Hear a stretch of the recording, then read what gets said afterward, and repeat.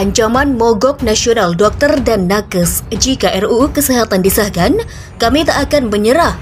Banyak kawan-kawan kami yang digaji bahkan di bawah UMK, bahkan di bawah upah minimum. Banyak sekali. Kami tidak menuntut itu, wahai Bapak Menteri. Kami tidak menuntut itu. Uang bagi kami hanya seujung kuku. Uang bagi kami tidak ada masalah. Bagi kami adalah kedaulatan profesi kami. Kami bertahun-tahun memperjuangkan undang-undang keperawatan, undang-undang kebidanan, undang-undang kedokteran, undang-undang rumah sakit, kekarantinaan, apoteker, dan seluruhnya. Tetapi, tetapi kami tahu ternyata diam-diam, diam-diam Anda semua bersekongkol membentuk satu undang-undang ingin memeras semua undang-undang yang ada. Uh, ini kan kegelisahannya adalah terhadap uh, draft RUU yang beredar dan sampai saat ini memang secara resmi dan saya sendiri secara pribadi belum pernah membaca dan mengakui adanya draft lain atau draft apa pun terkait dengan RUU kesehatan karena memang tahapannya belum sampai ke sana. Ya.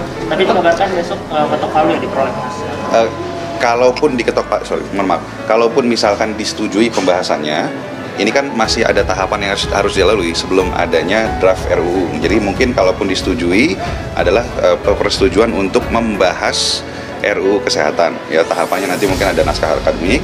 Setelah itu baru ada apa draft rancangan undang-undang yang akan dibahas antara DPR dengan pemerintah. Contohnya, contoh saja satu bahwa tentang STR tidak lagi memerlukan rekomendasi profesi. Ini kan berbahaya. Siapa yang mengawasi kemampuan mereka? Siapa yang mengawasi tentang etik mereka? Dengan jumlah yang jutaan semua begini, tenaga kesehatan tidak mungkin satu sisi saja. Karena kehidupan sehari-hari itu sangat berbeda-beda. Kemudian organisasi yang profesi yang mungkin akan ditunjuk oleh pemerintah ya bukan berdasarkan kemandirian kita, ini juga berbahaya.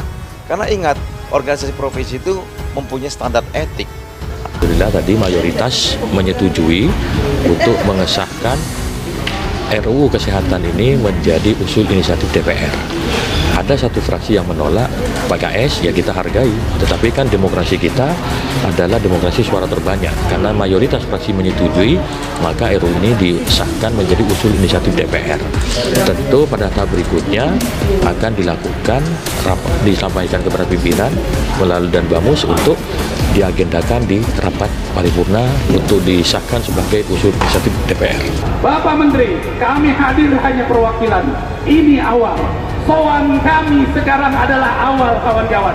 Soan kita ini awal kawan-kawan. Betul. Anggaplah ini Anggaplah keberisingan ini adalah snack siang. Ini snack siang, kecil snack siang. Tetapi kami mendengar jika RUU ini dilanjutkan pembahasannya sampai disahkan menjadi undang-undang, kami seluruh tenaga kesehatan Indonesia akan memutihkan Jakarta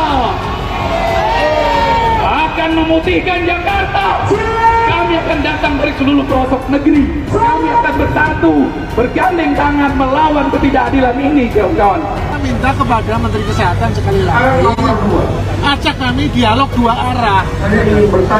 Ada poin-poin krusial yang harus dikompromikan.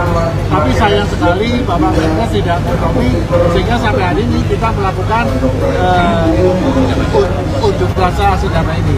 Kalau ini tidak berhasil, ada kemungkinan lanjutan kami akan cuti, cuti bersama, kami masyarakat, adakan kami cuti bersama, tidak melayani masyarakat, khususnya pasien-pasien yang bukan emergensi.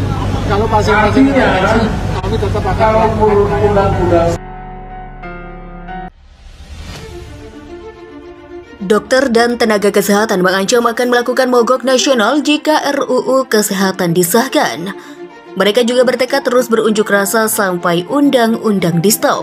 Hal itu terungkap saat ribuan elemen bahasa gabungan dari tenaga kesehatan atau nakes hingga dokter melakukan aksi unjuk rasa di depan kantor Kementerian Kesehatan, Jakarta Selatan Senin 8 Mei 2023. Mereka menyatakan menolak rancangan undang-undang atau RUU Kesehatan Omnibus Law Bahkan para nakes hingga dokter ini mengancam jika RUU tetap disahkan maka mereka akan melakukan mogok nasional. Kami yakin melalui forum ini saya sampaikan, kalau jika bapak-bapak ibu-ibu memaksakan RUU ini maka kami akan melakukan mogok nasional. Ucap orator dari atas mobil komando. Setuju jawab masa yang hadir. Masa pun meminta pemerintah berhenti membahas RUU Kesehatan Omnibus Law bahkan nakes dan dokter berjanji akan terus melakukan aksi unjuk rasa. Sebelumnya, masa dari elemen tenaga kesehatan yang tergabung dalam Ikatan Dokter Indonesia menggelar aksi unjuk rasa di kawasan Patung Kuda Jakarta Monas Jakarta Selatan, Jakarta Pusat, Senin 8 Mei 2023. Ribuan tenaga kesehatan itu menuntut rancangan Undang-Undang Kesehatan Omnibus Law. Juru bicara aksi Damai ID, IDI Dr. Benny Satria mengatakan bahwa sejumlah tenaga kesehatan yang hadir di patung kuda meminta untuk tidak mengesahkan Undang-Undang Kesehatan dalam Omnibus Law. Benny menyebut bahwa ada sejumlah masyarakat yang nantinya akan terdampak atas pelayanan kesehatan jika Undang-Undang Kesehatan di Omnibus Law disahkan. Kita sudah memberikan masukan tetapi telah banyak informasi-informasi yang kita dapatkan bahwa RUU ini akan segera disahkan, ujar Dr. Benny Senin 8 Mei 2023.